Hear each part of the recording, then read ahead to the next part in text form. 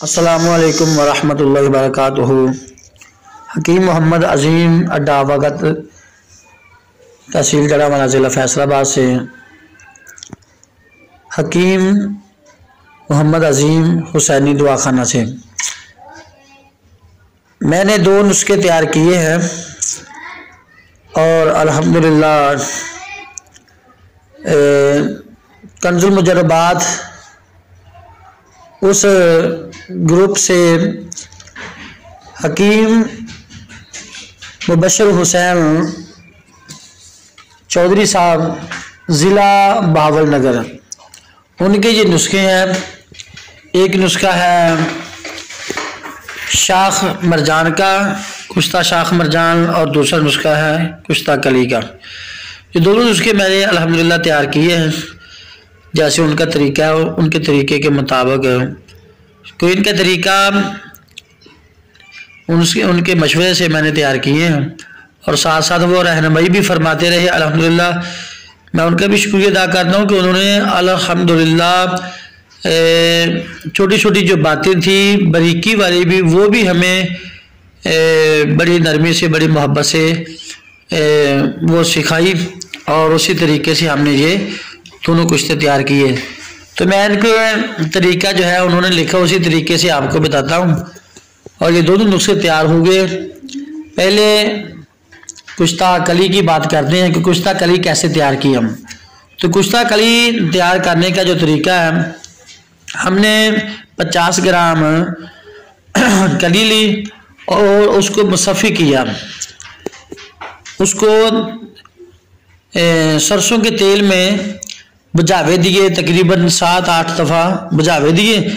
जब वो वो ईट की शक्ल में मुसफ़ी कली हो गई तो हमने उसके पतरे बनाए हैं चावलों की शक्ल में। जब वो चावलों की शक्ल में तैयार हो गए तो हमने उनको फिर कुश्ता करने के लिए मज़ीद अढ़ाई किलो, यानी देसी किकर के जो पत्ते हैं, बरगे किकर, देसी किकर के जो पत्ते हैं वो हमने लिया और साफ़ करके उसकी डंडियाँ निकाल के उस उसको साफ़ किया और साफ़ करने के बाद हमने एक बोरी ली और बोरी के बोरी की तकरीबन तय लगाई।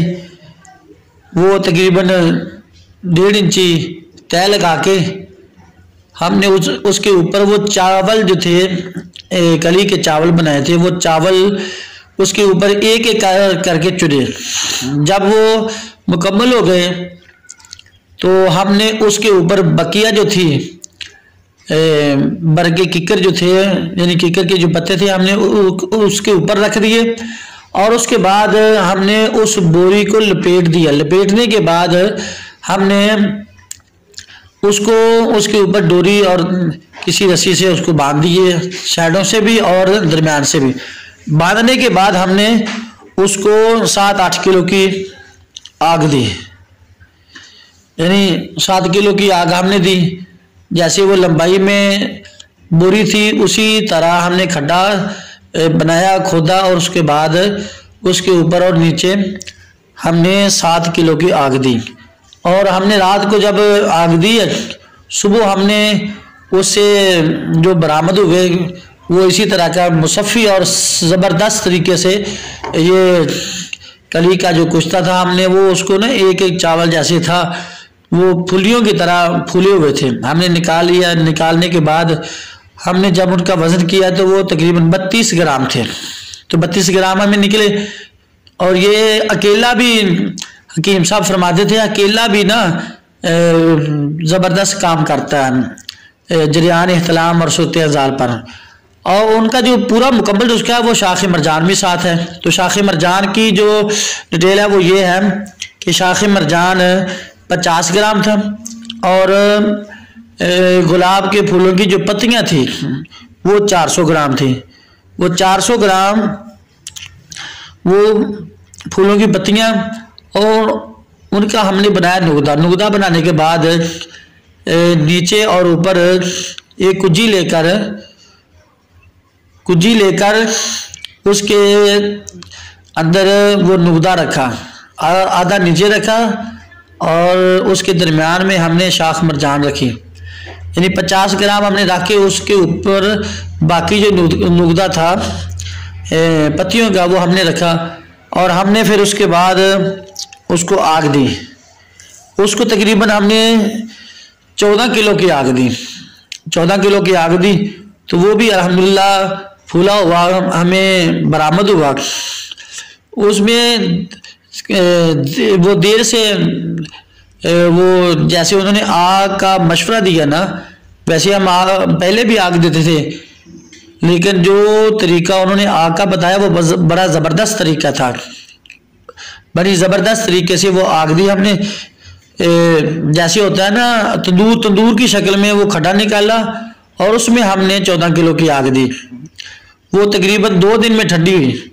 और दो दिन के बाद जब हमने निकाला तो ये इसी तरह का साफ़ शफाफ ये कुश्ता मरजान निकला। और इनकी मकदार पचास ग्राम से, इनकी मकदार तकरीबन चौथी पैंतीस ग्राम निकला ये।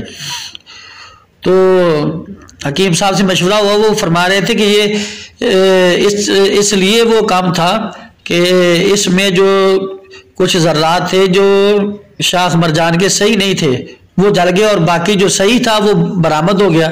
तो अल्हम्दुलिल्लाह ये पैंतीस ग्राम निकला और ये बत्तीस ग्राम निकला। हम इन दोनों को हमने मिलाया, मिला के तो इसका, इसको कपड़ शान किया। अच्छे तरीके से, यानी पाउडर की शक्ल में, ये पाउडर की शक्ल में बन गया। तो ये सूरत के लिए जरियान एहतराम के लिए बहुत ज़बरदस्त है।